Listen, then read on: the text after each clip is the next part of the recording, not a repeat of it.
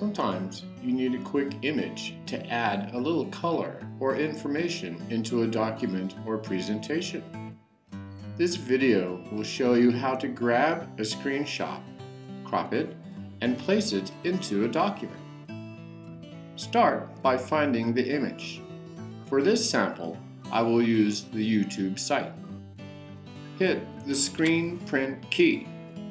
Open a Word document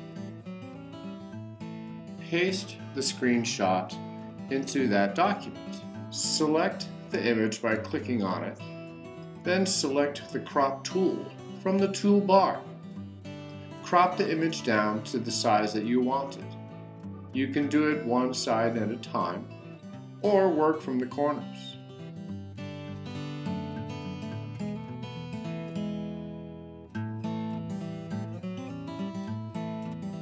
Now you can click on that image and have a full control JPEG.